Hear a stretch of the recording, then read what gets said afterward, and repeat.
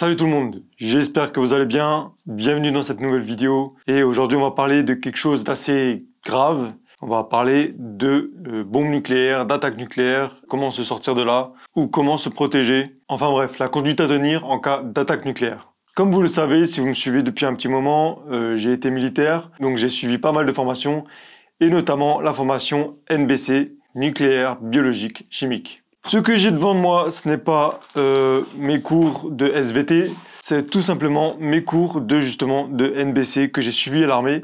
Donc tout ce que je vais vous apporter là, c'est ce que j'ai cherché. Hein. j'ai beaucoup cherché, j'ai travaillé le dossier, j'ai travaillé le sujet. Je me suis pas référé aux médias, aux réseaux sociaux ou à tout ce qu'il y a dans cette merde là. Je me suis référé à des ouvrages militaires, des ouvrages euh, techniques et aussi à mes cours de NBC. Donc là, je vais vraiment vous donner la vraie formation qu'on apprend quand on est militaire face euh, aux attaques nucléaires. Donc ces cours sont officiels, c'est pas secret d'État, c'est pas secret défense, c'est simplement une formation militaire. Si je fais cette vidéo aujourd'hui, c'est tout simplement parce qu'on m'a demandé plusieurs fois si je pouvais faire une vidéo sur le sujet, parce que en ce moment, on n'est pas sans savoir qu'il y a un conflit entre l'Ukraine et la Russie, et euh, on parle souvent de nucléaire dans, euh, ces dialogues-là, dans les médias, euh, dans les reportages et tout ça. Donc forcément, ça alerte beaucoup de gens. Alors déjà, je vais vous donner mon point de vue là-dessus. Ne vous inquiétez pas sur ce sujet. On est très loin d'une guerre nucléaire. On n'est pas là pour faire de la politique ou des stratégies militaires, mais c'était juste pour vous rassurer dans le fait que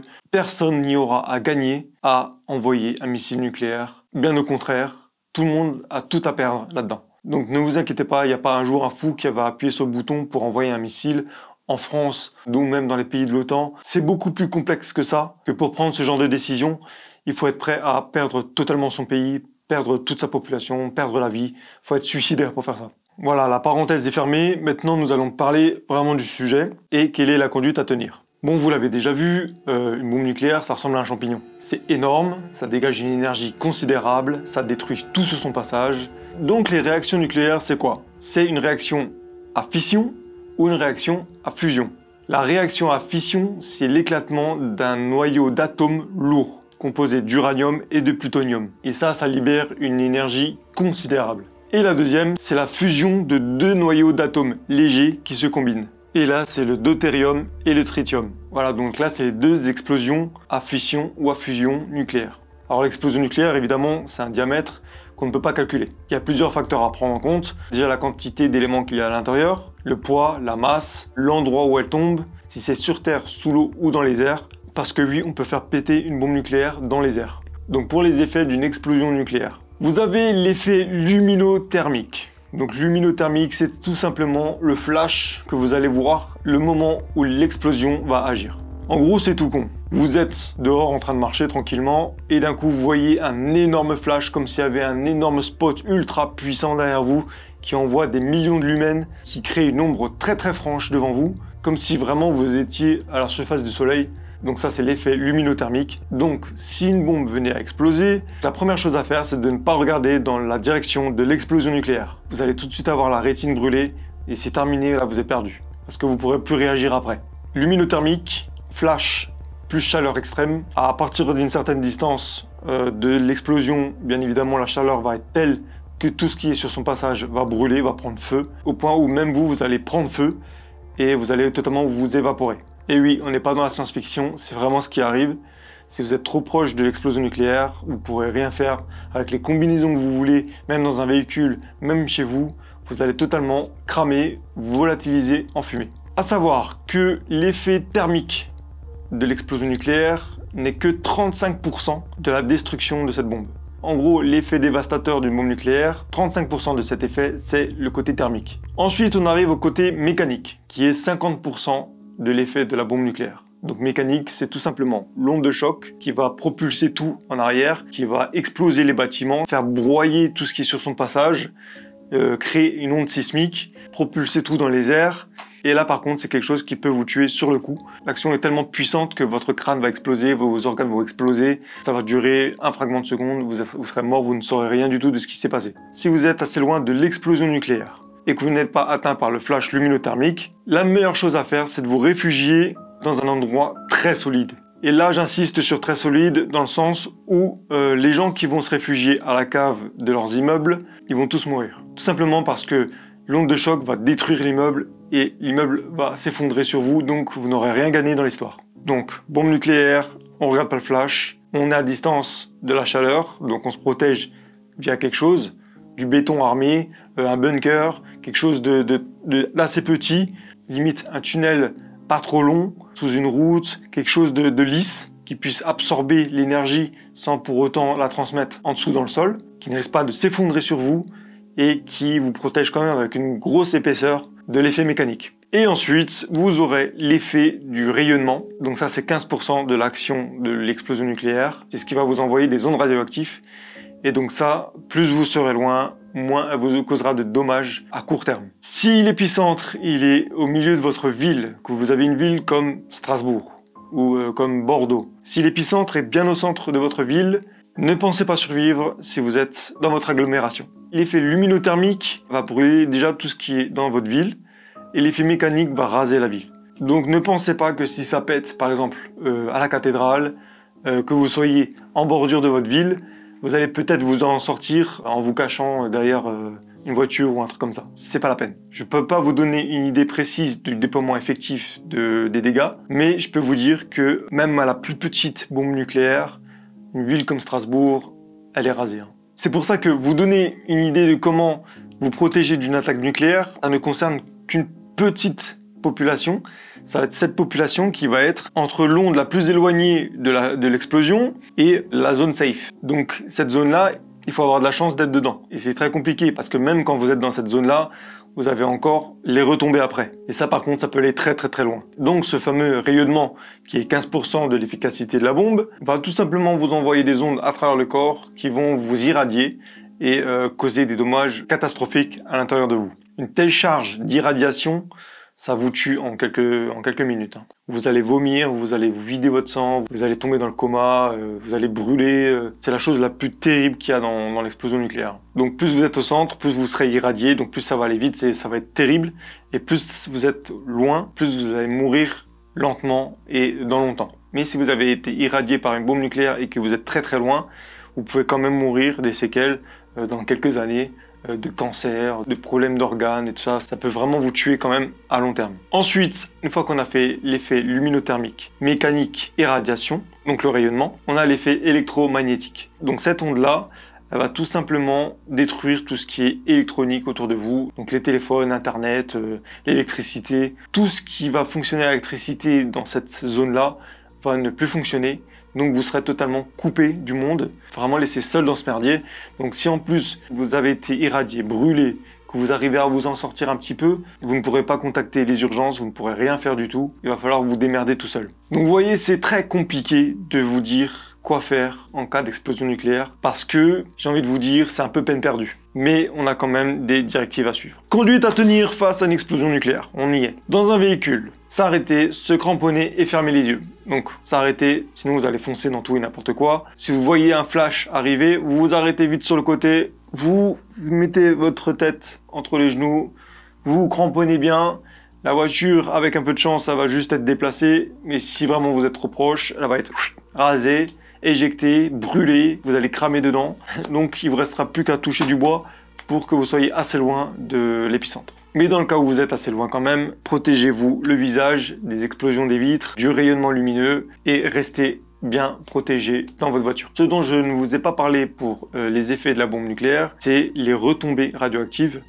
Donc c'est les particules radioactives qui vont être dans l'air après l'explosion, qui vont retomber 15 minutes après l'explosion et qui vont euh, rester au sol pendant des dizaines et des centaines d'années. Donc ces retombées-là, elles tombent constamment, on les voit pas.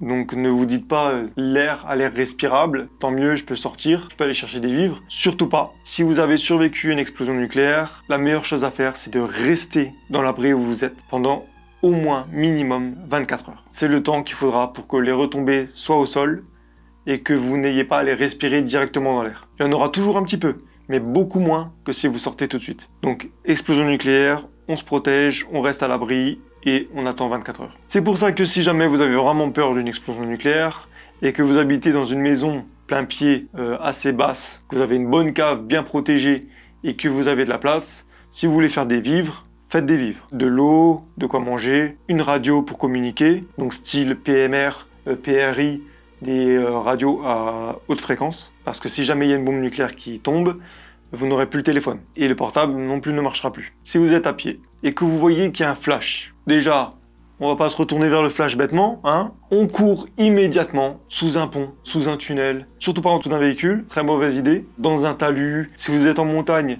un trou d'obus, une tranchée. Protégez-vous un maximum derrière quelque chose de très solide. N'allez pas courir dans un immeuble parce que là vous êtes mort. Si vous avez un immeuble à votre gauche de 6 étages et une maison à droite, euh, préférez la cave de la maison. Hein. Et si vous êtes à découvert, la PPI, position de protection immédiate ou instantanée. Ça consiste à vous mettre par terre, accroupi, la tête face à l'explosion, les bras croisés sous les aisselles. Ça, c'est la position PPI. Le fait de mettre la tête devant ne vous sauvera pas plus que si vous la mettez derrière. Vous allez mourir de toute façon. Mais dans le, dans le cas où ce sont des simples brûlures, le fait de vous mettre face à l'explosion, ça va vous protéger les membres inférieurs, les jambes et les bras, quand vous les mettez comme ça. Et ça, c'est ce qu'il faut vraiment sauver. Parce que si vous êtes encore en vie, il va falloir pouvoir courir, il va falloir pouvoir utiliser vos mains. Donc, protégez-les. Voilà pour la position PPI. Pour se protéger des retombées nucléoactives, donc toutes ces particules irradiantes, néfastes pour la santé.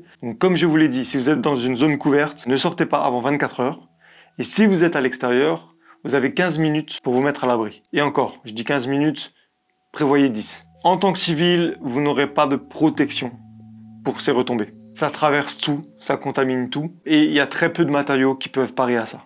À partir du moment où il y a un petit peu d'air qui vole, qui passe au travers, donc le mieux c'est d'avoir une combinaison NBC. Et ça, il faut réussir à en trouver. Donc il y a la tenue de combat NBC, et sinon vous faites un trou, ou vous avez un trou quelque part, et vous mettez une bâche par-dessus, vous recouvrez un petit peu de terre autour très rapidement. C'est vraiment, vous n'avez pas le temps de creuser, hein. c'est vraiment la bombe tombe, vous trouvez un trou vite fait, hop, vous mettez une bâche par-dessus, vous mettez un peu de terre vite fait, et vous attendez. Bon bien sûr à ce moment-là, elle sera très loin. C'est parce que si elle n'est pas loin, c'est que vous êtes mort. Pour la voiture, si vous êtes dans votre véhicule au moment où ça explose et que vous avez peur des retombées, Surtout, ne mettez pas la clim, ne mettez pas le ventilateur et bouchez toutes les aérations avec tout. Vous n'êtes pas touché, mais vous n'êtes pas en sécurité. Les particules radioactives vont très très très loin, beaucoup plus loin que l'effet de la bombe. Donc, restez dans votre voiture et vous bâchez la voiture, vous la protégez, vous mettez du scotch partout, euh, des chiffons dans les, aérations. Euh, vraiment, vous l'isolez au maximum. Je crois que j'ai fait un petit peu le tour. Ce que je peux vous dire, c'est que si jamais ça arrive un jour, vous serez laissé à vous-même. Donc si vous devez préparer quelque chose pour ça, ce serait peut-être un masque. Ce genre de masque avec une cartouche. Celui-ci, c'est un masque incendie. Donc c'est euh, spécial euh, fumée lourde. Celui-ci, c'est pour les produits toxiques. Donc ça va être plus des particules toxiques. Vous pouvez prendre n'importe quel de ces masques. À partir du moment où ils sont parfaitement hermétiques sur vous, d'ailleurs vous n'êtes peut-être pas au courant, mais pourquoi les militaires doivent se raser à blanc au régiment? Tout simplement parce que s'ils doivent mettre le masque, il faut qu'il soit totalement hermétique. C'est juste prouver que euh, pendant la guerre, pendant les attaques des Allemands avec le gaz, quand les militaires mettaient le masque, s'il y avait de la barbe, ça servait à rien du tout. Donc un masque avec une cartouche, les cartouches filtrantes haute capacité pour tout ce qui est poussière toxique, c'est très bon pour euh, la poussière radioactive parce que justement ça filtre les poussières, donc euh, ça peut vous protéger. Ça ne vous protège pas à 100%, mais une grande partie et ça peut vous sauver la vie, même à long terme. Donc un masque comme ça, bien hermétique partout, avec une bonne cartouche contre les produits toxiques, contre les fumées toxiques. Pour les fumées, euh, c'est peut-être un peu léger, préférez une cartouche un peu plus euh, costaud. Et pour euh, le reste de la peau, bien tout couvrir, les bras, les mains, le visage, le tour de la tête, un kawaii, une parka, refermez bien en dessous dans le masque, mettez des gants style chirurgicaux, ça ça marche bien, pas de choses en tissu où ça peut traverser. Comme dit, le mieux, c'est quand même ce qui est coupe-vent, ce qui est euh, euh vraiment imperméable. Là, vous serez euh, plus tranquille. Nous, on avait le ANPVP, donc c'est le masque style NBC, avec une petite pastille pour communiquer. Le petit dépal, le petit dépal, c'est le système d'alimentation. On pouvait mettre une paille dedans et boire à travers ça. Évidemment, la cartouche. Une vision panoramique qui prenait à 180 degrés. Et puis des sangles en silicone pour bien serrer sur le, sur le crâne. Je sais pas si vous le voyez bien. Voilà, donc l'expiration se faisait à travers ça. S'il y a eu une bombe nucléaire, évidemment, les particules radioactives sont tous posées autour de vous. Ne passez pas vos mains sur des choses, ne touchez pas ce qu'il y a autour de vous, vous ne touchez à rien du tout. Il y a de la particule partout. Donc si vous avez un masque sur le visage avec votre combinaison personnelle, vous marchez tranquillement, sans vous affoler, évitez les toitures, les bâches à proximité. Tu fais qu'il y a un peu de vent, tout vous tombe sur la gueule. Évitez vraiment d'être en contact avec des choses qui peuvent euh, créer de la poussière. Et le mieux, c'est de vous diriger soit vers l'armée, soit vers un hôpital. C'est tout ce que vous aurez comme solution. Voilà, je vous ai donné un peu tout ce qu'il y a de technique à savoir sur les bombes nucléaires. Donc pour résumer et pour être vraiment clair, si jamais vous êtes dehors et qu'il y a une attaque nucléaire, si elle ne vous tue pas tout de suite, ne regardez pas le flash, mettez-vous à l'abri dans une zone basse où ça ne peut pas s'effondrer.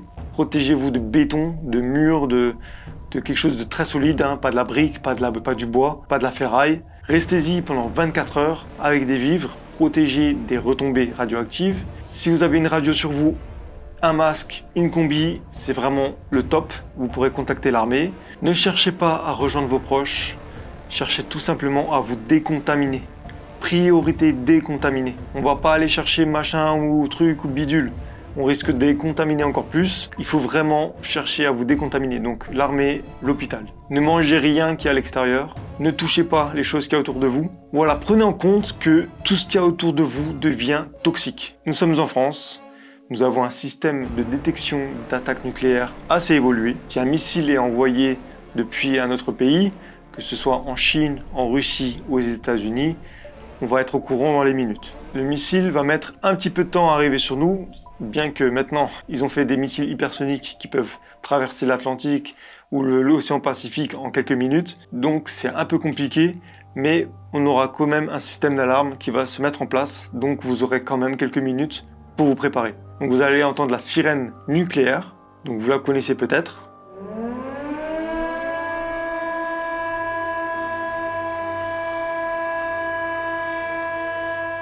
C'est simple, c'est la sirène que vous entendez tous les mercredis euh, au-dessous de votre école, de votre euh, mairie ou autre comme ça. Donc ça, c'est votre sirène que vous allez entendre. Et si vous entendez ça et que vous n'êtes pas le premier mercredi du mois à midi, c'est qu'il y a un problème. Donc dans le doute, vous allez vous foutre dans la cave de la maison d'en face, si vous êtes dans un immeuble, ou dans un bunker, ou dans un sous-sol, un souterrain, un sous-sol de bibliothèque, c'est super solide en général. Si vous êtes dans votre banque, hop, au fond de la banque. Donc voilà, donc pour vous dire que s'il y a une attaque nucléaire, vous allez le savoir quelques minutes avant grâce à cette sirène. Et là, vous courez et suivez les directives que je vous ai données dans cette vidéo. Voilà, j'ai pas fait plus de détails sur comment est composé les bombes nucléaires, les bombes H, les bombes A. Je n'ai pas là pour faire de la chimie, je suis là pour vous montrer des choses à faire en cas d'attaque. Et j'espère que vous n'en aurez jamais besoin. Et puis, euh, ne vous inquiétez pas, on est quand même safe. Il n'y a pas un fou qui va appuyer sur le bouton dans quelques jours. Et pour ceux qui se préparent, ben voilà, vous avez le matos à proximité, à disposition. Voilà donc, je vous dis à la prochaine pour une nouvelle vidéo. J'espère qu'on pourra refaire des vidéos forêt et arrêter un petit peu le côté euh, apocalypse. Parce que ma chaîne, elle est surtout basée sur la survie en forêt. Elle n'est pas basée sur le côté urbain, bien que c'est un milieu que je connais bien et dont j'aime bien parler. Mais en ce moment, c'est vrai qu'avec tout ce qui se passe autour de nous, avec toutes les questions qu'on me pose, j'en reçois sur Instagram et sur YouTube. Et je reçois beaucoup de questions sur... Euh, sur tout ça. Allez, sur ce, je vous dis à la prochaine pour une nouvelle vidéo. N'oubliez pas que dans la nature, le danger n'est jamais très loin. Allez, ciao